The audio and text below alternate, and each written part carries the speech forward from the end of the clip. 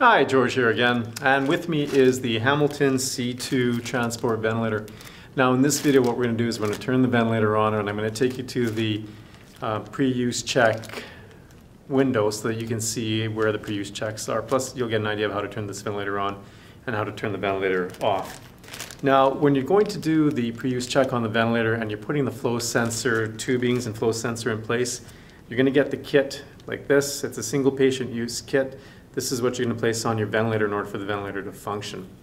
And if you look closely, just like from the previous video, you'll notice that the flow transducer is a bit different than the one on the Hamilton G5. It's got this style of flow transducer. It's the smaller diameter that goes into the, the uh, ventilator circuit, and it's the wider diameter that you hook up your tubing to. Now I'm not taking out the packaging to show you because I don't want the parts to get lost.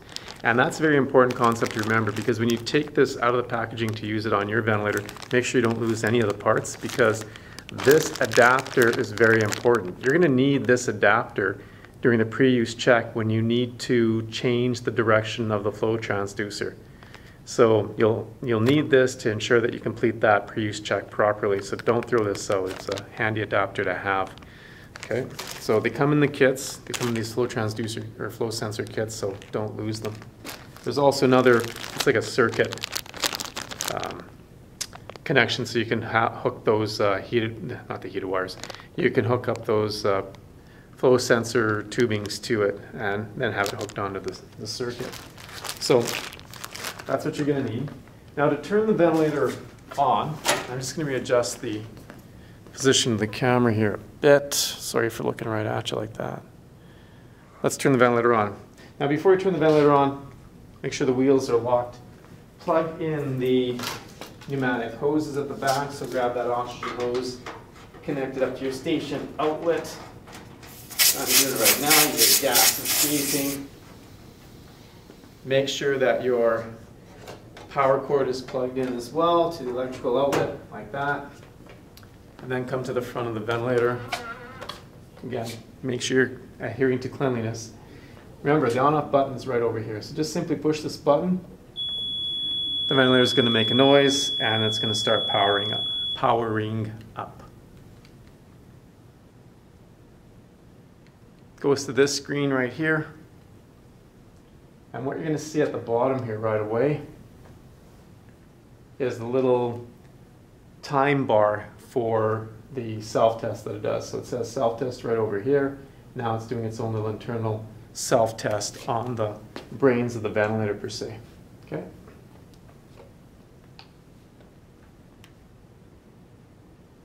All right. Checks itself out. It's going to come to a main window here right away. There's the main window right over here. This yellow tab indicates that the ventilator is in standby and it's going to stay like this until you press that button to start ventilation. Once you're happy with the mode of ventilation that you've chosen and you've got those ventilation dynamics programmed or set appropriately. Now to access the pre-use check menu, this is the pre-use check menu right over here and here are all the pre-use checks. The tightness test, the flow sensor test, and the O2 cell test.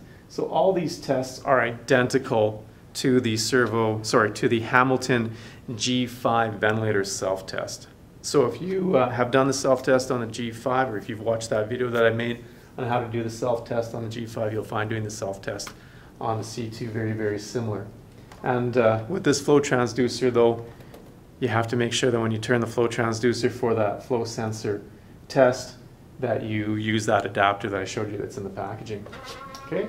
And that's in essence how you uh, start up the ventilator and access the self or pre-use check. I'm not going to do the pre-use check because it is so similar to the Hamilton G5. Okay, again, before you do the test, let me make sure all your connections are nice and, and tight. To shut the ventilator off, you simply hold that button down and eventually the ventilator is going to power down. Now the ventilator is shut off. This little green light here just indicates that you've got the ventilator plugged into uh, power outlet. The power cord's plugged in. And what we tend to do here in our, our area is we like to keep these ventilators plugged in because we want the battery to remain charged at all times. So that's the C2 ventilator. Hey, how you doing? That's the C2 ventilator. Another ventilator that we use, you can be use, you can use it in, in an intensive care unit. It functions fine as a as an intensive care unit ventilator, but it's got limited capabilities when it comes to um, ventilation mechanics for your patients, etc., and what it can do from that perspective. But it makes a, a decent transport ventilator as well. Not that I'm here to promote any product over another product, but it is uh, functions as a as a transport ventilator. All right, that's the Hamilton C2 ventilator. Uh, hope you got some value out of this video. If you liked it, give me a thumbs up, thumbs down if you didn't, and of course, if you get a chance to, please subscribe to my YouTube channel. This is George signing off. Have a great day. Take care for now. Until next time.